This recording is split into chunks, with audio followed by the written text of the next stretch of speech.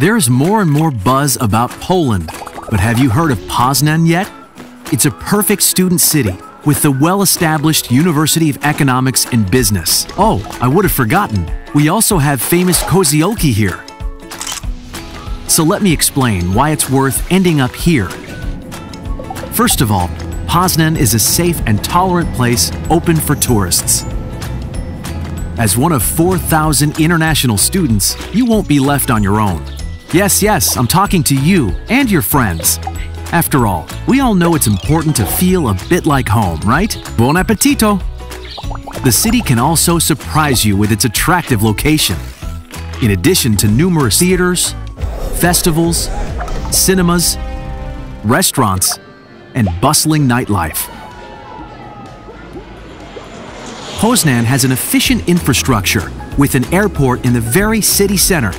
But there is more. While staying here, you can take advantage of attractive living costs. What does it mean for you? Yes, you're right. More money for pizza. Bene, eh? And what about PUEB? Our university is the best business school in Poland, according to the Perspektywy National Ranking. As one of the few, we can boast about our prestigious International Association of MBAs accreditation.